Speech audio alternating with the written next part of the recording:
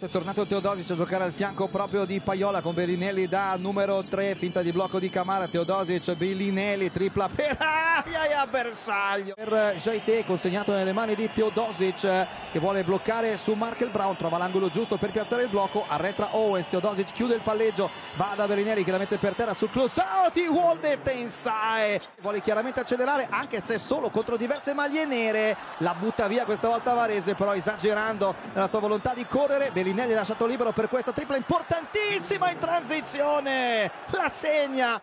Lo scadere 24 adesso devono chiudere devono finire con, con il recupero evitando di prendere un canestro facile. Bellinelli servito da Teodosic. Torna da Teodosic riblocco di Bellinelli blocco anche di Zeite gran palla di Teodosic per armare la mano di Bellinelli ancora i due veterani